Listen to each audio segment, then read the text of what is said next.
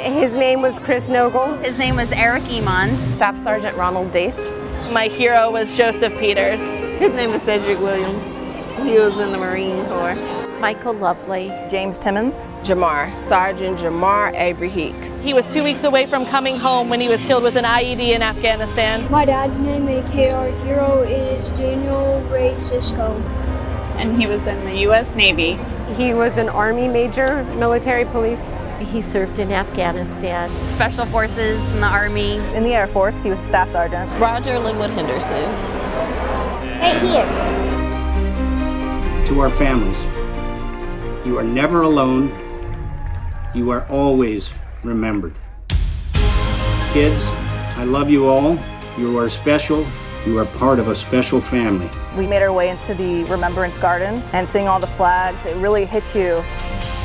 Each one of those flags represents another family who's going through the same thing that we are. It was really nice to, to know that we're not alone. Look, your dad is a hero, you know, and everybody else in this room, they're a hero as well. My oldest daughter asked if all the people in red shirts were like us. Other parents who have lost. Other Yeah. parents who have lost. It's nice to know that there are others like me. It just, You know, we're all the same. They are like us. They've lost a loved one too. You just feel the love and you feel supported and the foundation even um, got us a car and a driver to take us to the cemetery yesterday to see my husband's grave and that was above and beyond so um, thank you I'm forever grateful. We are too. You are too. Yes. to have this amazing experience where we get to have new memories together. Where to next, guys? We made it to the Haunted Mansion. we're Disney World saw Chewbacca, so we had to stop and say hi to Chewbacca. I don't know.